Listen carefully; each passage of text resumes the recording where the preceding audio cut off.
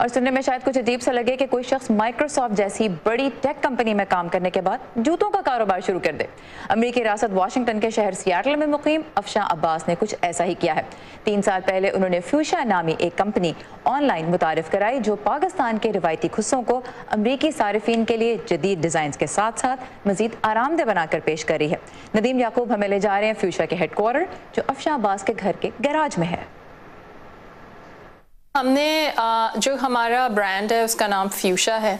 और फ्यूशा हमने नाम इसीलिए रखा था कि जो हमें इनिशियल रिस्पांस और जो हमारा ब्रांड फेस हमें जिस तरह का बनाना था, वो ऑफ़ ब्राइट कलर्स का बनाना था। खुस्सा जो है, वो इट्स बड़ा अट्रैक्टिव लगता है जब उसमें बहुत ब्राइट एंड कलरफुल कलर्स होते हैं।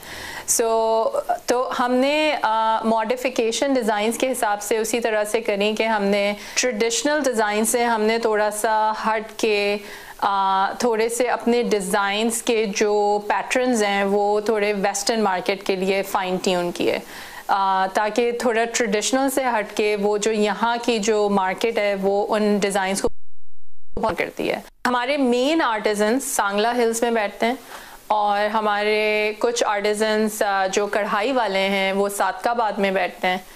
जो आर्टिजन्स हमारे साथ काम करते हैं वो उनकी टेक होम इनकम 20,000 से 35,000 रुपीस है depending on their skill set and their experience level people like colours shoes में एटलीस्ट अगर आप यहाँ की मार्केट में देखें तो इतने कलरफुल शूज़ नहीं मिलते तो वो हमारी ब्रांड की स्ट्रेंथ है।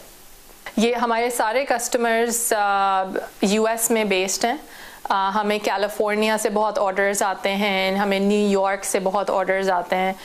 तो हमारे uh, जूते इतने इंडियन और पाकिस्तानीज़ में uh, अभी तो नहीं है लेकिन हमारे अमेरिकन कस्टमर्स बहुत ज़्यादा हैं और हमें कनाडा से भी बहुत ऑर्डर्स आते हैं। ठीक है अगर हम इसको अभी फ़िज़िकल स्टोर पे ट्रांसलेट करें तो हमारी कॉस्ट बहुत ज़्यादा बढ़ जाती है। ऑपरेशंस कॉस्ट हायरिंग कॉस्ट हम डेफिनेटली स्टोर बनाना चाहेंगे आ, पर हमारे अभी प्लान्स हैं कि हम इसको ऑनलाइन काम को अपना स्केल करना चाहते हैं कि हम हंड्रेड्स ऑफ़ ऑर्डर्स में से थाउजेंड्स ऑफ़ ऑर्डर्स में कैसे जाएँ।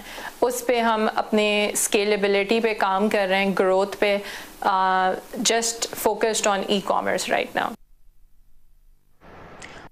ये थी नताशा जहरी, जो चीनी ज़ुबान से रही हैं पाकिस्तान में। नन्हे बच्चों के साथ प्यार से उनकी ज़ुबान में बातें सभी करते हैं, लेकिन साइंसदान कहते हैं कि बोलने का एक ख़ास अंदाज अपना कर वालदेन बच्चों की सीखने और समझने की सलाहियत में इजाफा भी कर सकते हैं। इस ज़ुबान को नाम दिया गया है पेरेंटीज़ का। आइए जानते हैं कि ये कैसे बोली जाती है और बच्चे इसे कैसे समझते हैं।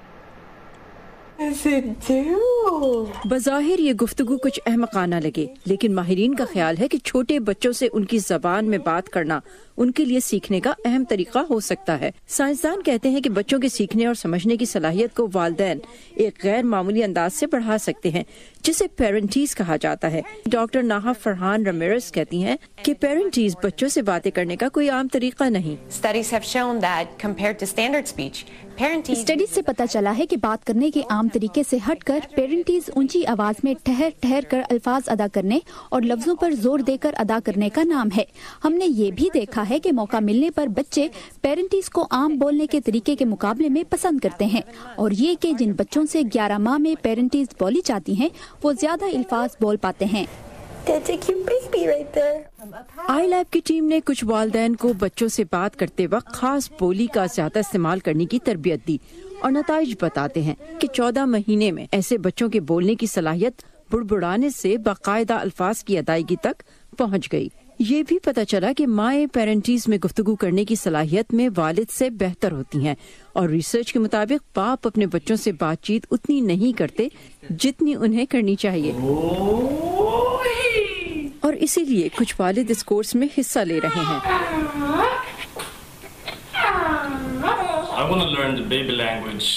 मैं बच्चों की ज़ुबान सीखना चाहता हूँ ताकि अपनी बेटी की बात समझूं और देखूँ कि वो दुनिया को कैसे देखती है। रिसर्च साइंटिस्ट जेरोम टोफ कहती हैं कि ये बात हम जानते हैं कि बच्चों को ज़ुबान सिखाने के लिए उनसे बात करना ज़रूरी है।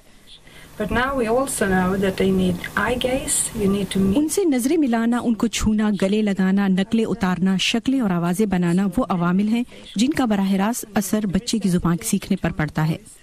यूनिसेफ और non profit H N M foundation की ये मुश्तरका काविश इस उम्मीद पर मबनी है कि बाप और बच्चों का रबता मज़बूत हो और यूँ गुफ्तगु के ज़रिए खानदान मज़बूत हो सकें। Saba Shah Khan voice of America